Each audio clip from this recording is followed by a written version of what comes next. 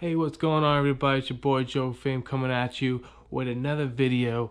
We're going to talk about the Denon Prime 4, which is getting really close to getting into people's hands. So we're going to get into why Denon Prime 4 is going to have either issues when it first comes out or it's going to be basically fine. So we're going to discuss why it's going to be good or why it's not going to be good right after this intro.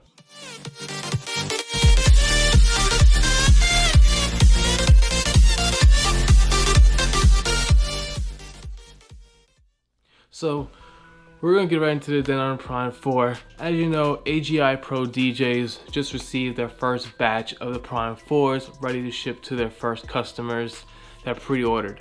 So those lucky people are gonna get their hands on it first. So hopefully all the other manufacturers from Sweetwater, American Music Supply, Guitar Center, maybe IDJNow, whoever else has the products coming, hopefully they get them soon and hopefully we get ours in our hands by maybe next week or the week after. So I'm hoping we get our hands on it soon. I'm praying that maybe I can get in the first batch. I may not be able to, but I'm praying I do.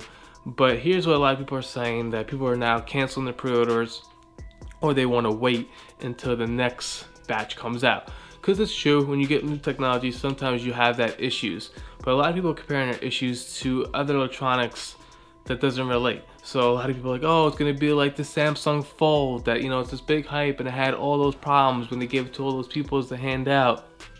First of all, this is not a phone, it's a DJ controller. Two, this is not a brand new concept. See the four channel standalone mixer, I mean, Pioneer had the XDJ RX 2, which is a two channel, still standalone, which is a smaller screen. So the production already has already been kind of established. Here's why I also think that there's really not going to be much of an issue once we get the Denon Prime 4 in our hands because Denon DJ is part of InMusic brand. InMusic brand also falls underneath the different characters of other products that they sell, such as Akai. Now here's the thing, especially with the Akai. They came out with the Akai MPC Live and the MPC-X.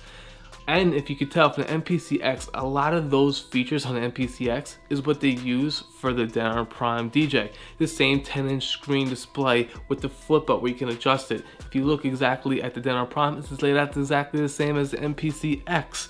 And you can tell a lot of the mechanics from this side, from all the touchscreen features on it to navigating or ways and adjustments are all from the MPC-X. Uh, well, you could say it's kind of close to it. Basically, it's the same type of mechanics that I believe they're using for the Denon Prime 4. So in that aspect, the MPC-X when it first came out, there was no issues when it came to the touchscreen or any of those features on a 10 inch screen. They had some issues with like a clip launch, I think like a latency issue or something like that that was very minor and they fixed right away. Like supposedly maybe lasted a month or so and then you know a new firmware update came out and then boom it fixed that little bug that they had.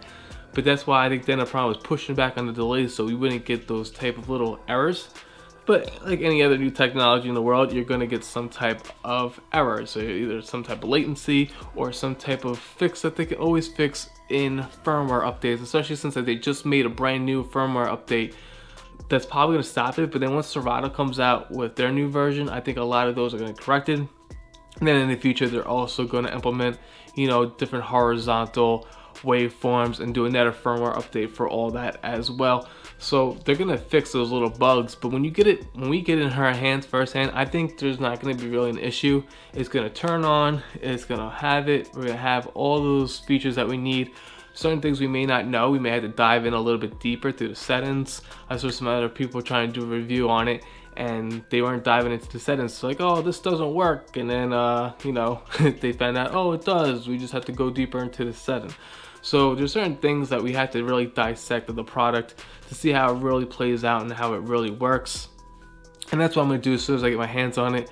We're gonna do multiple parts from the unboxing to setting it up, displaying and how it works in a real world environment that could tell the difference between all these issues that it may happen or can occur. So people are worried about if it's gonna happen, eh, you know, pushing off on it. It's true. I mean, I know a lot of friends though that have bought DJ equipment when it first came out and it had nothing but issues. I had a buddy who bought the Rolands, the 808s when they first came out. That DJ controller had nothing but issues. They've returned it like seven times and they just gave up on it. When they got the Rane 12, they had like a little minor issue on it. So when they sent back that Rane, they fixed it in like a split second. They got it back like two days later or something like that. So that wasn't even like a dramatic issue with that. So there are certain times you can get those duds and those lemons. That's like anything. So it is possible that when we do get this product, there can be issues that we all may relate to. But since I think they're using a lot of mechanics on the MPC X, that I feel like it's going to entwine pretty good and it's going to be pretty responsive. So it really won't have those issues, especially since they learn those issues on the MPCX, the way with the touchscreen, the functionalities, and everything on that screen same type of features I think are going to work perfectly fine on the controller. Well, the only thing I am worried about is when they include these new streaming services is how that may react. I feel like these streaming services and when you connect to a Wi-Fi or when you connect to the internet, just like when you do at home, it can cause things to crash. It can make things run slower because it takes up more GPU. Since this thing is basically a computer, it's possible that they, it can run slower if you connect it to the internet and run you know, those streaming services, which I'm a little bit more concerned about. But what I am more concerned about is people like, you know, the hard drive features to standalone, but you still need your computer. You always need computer because you still need to do your updates. You still need to transfer your music. You still need all that. So there's still room that's, they got a long ways to fixing everything. I mean, it's not a true, true standalone, but you can do a lot of those features. Now with the streaming services, it does help my main issue is when I do these events, especially school dances, I get bamboozled with requests, especially from these new songs that I never heard of because these kids, I don't know where they find their music, but they always find these artists that are just deep, deep into categories and they request for these songs and sometimes it's hard to find or hard to get them, especially if they're dirty, trying to get them clean.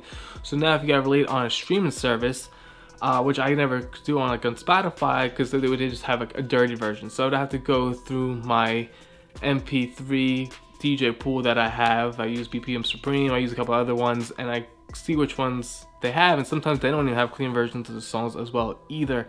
So it makes it hard to get songs requests. So I think that's gonna be the biggest issue for me. But what I'm gonna have to do is I'm just gonna have to get the RCA, decoder, the, uh, 3.5, plug it into my phone or tablet, and then just play songs when I need it, when I can't download them off the spot. But that's why, you know, digging through my crates and try to always con consistent on my library is gonna be a big issue. Another one big issue I'm having right now is with the Engine Prime 4. The, the software itself definitely needs a lot of fixing. It needs to be fixed a lot there's a lot of things wrong with it. I tried transferring everything over from Serato there, and for some reason, one of my crates none of the music shows. It shows the crate and it imports it, but nothing's there. So I'm like, maybe something happened. So I go to my Serato, that folder's there perfectly fine, no issues. So that's the only thing I'm really kind of iffy about is how it's gonna be getting my songs into the hard drive, if it's gonna get all my folders properly in there, if it's gonna get all my music in there properly. That's my biggest concern is how that's gonna work since the Engine Prime software itself is not that great. It's really kind of really not that great at all. It takes forever to analyze tracks. It takes forever to move from one to the other.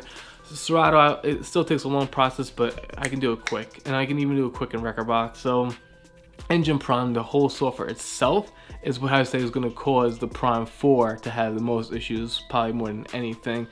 Uh, and even with the SC5000 series, I think that's going to control more issues too, is with that Engine Prime software and the laptop alone needs to be fixed, be, be done. Now that this product's coming out, they should really focus on that software to fix things up. And I think that's what they need to do to make, you know, the Denon Prime series not have so many issues. So personally, when we get in our hand, yeah, I think it's gonna be duds. I think some people may complain because people they want everything to be perfect, perfect, perfect, perfect. But there's sometimes no such thing as being perfect. We all have flaws, just like technology has flaws. So it happens, but I think in the long run it's going to be good, especially since they're taking some of those uh, aesthetics and some of those fundamentals of what they build with the MPCX and the Akai. I think that is what's going to help Prime Series be pretty responsive once it comes out. So what do you guys do? You think it's going to totally fail? Do you think it's going to be horrible? I don't know what you guys think.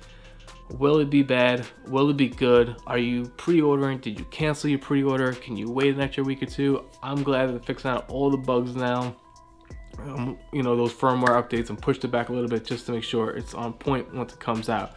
So I'm happy with that. I'm just you know, it's a Denon product, so we're gonna see. I grew up, you know, with a lot of Denon products.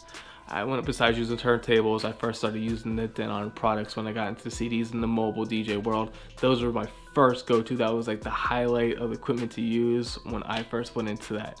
So we're gonna see how it turns out in the long run. And all just fingers crossed and hoping it comes out good. So once again, like, comment, subscribe. Tell me what you like, what you don't like, please. That'd be a big help. Um, that's one big thing. I always want to make my videos better what don't you like about my videos, please just let me know in the comments. And uh, like I said, I'm going to do a lot of videos once I get this Denon Prime 4. So hope to see you guys in the next video, and I'll see you guys later. Peace.